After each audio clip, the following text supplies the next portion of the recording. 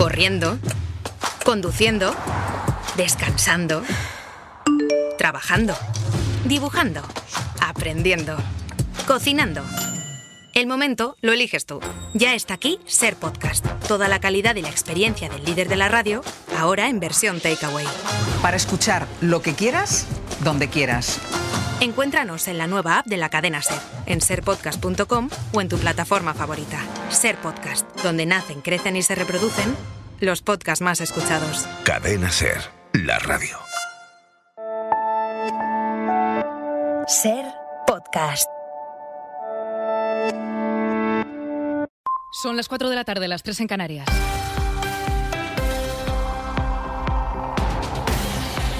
Uno de los helicópteros que trabajan en las tareas de extinción del incendio de Sierra Bermeja, en Málaga, acaba de sufrir un accidente, aunque no hay que lamentar daños personales. A bordo iban 19 ocupantes que están bien. Ser Málaga, Ana Tere Vázquez.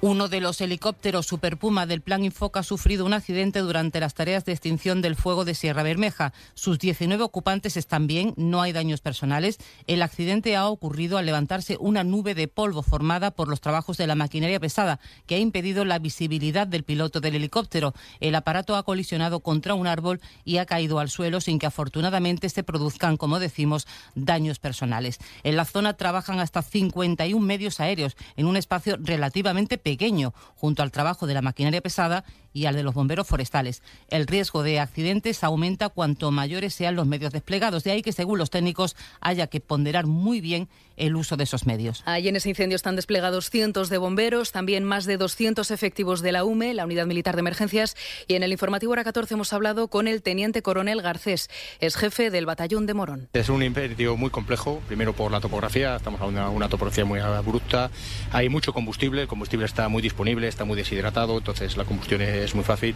y sobre todo también la meteorología ha sido muy adversa, difícil de predecir y todo esto pues bueno ha generado que sea un, un incendio especialmente complejo. El perímetro de ese incendio, recordamos, es ya de 90 kilómetros. Ha arrasado cerca de 8.000 hectáreas y 1.700 vecinos de seis municipios siguen evacuados de sus casas. En el Congreso, a esta hora comienza un nuevo periodo de sesiones. Es el primer pleno del ministro Bolaños, que se ha estrenado con una intervención para defender la prolongación del escudo social. La presidenta de la Cámara Baja ha pedido a los grupos que alcancen un acuerdo para renovar el Consejo General del Poder Judicial. Siguiendo ese pleno está Carolina Gómez. Buenas tardes. ¿Qué tal? Buenas tardes. Sí, es la primera vez que la presidenta del Parlamento hace un llamamiento desde el Pleno a las fuerzas políticas para renovar los órganos constitucionales. Soy muy consciente de que llegar a acuerdos es difícil, pero no intentarlo o negarlo a hacerlo es, sin embargo, un claro incumplimiento de nuestros deberes como diputados y como diputadas.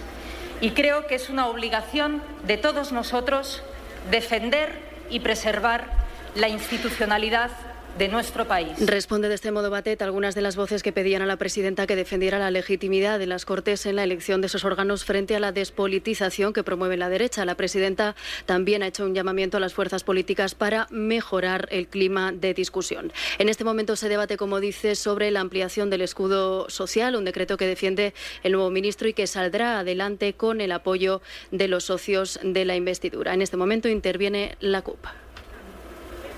Pues así llegamos a las 4 y 3, las 3 y 3 en... Cadena Ser. La radio.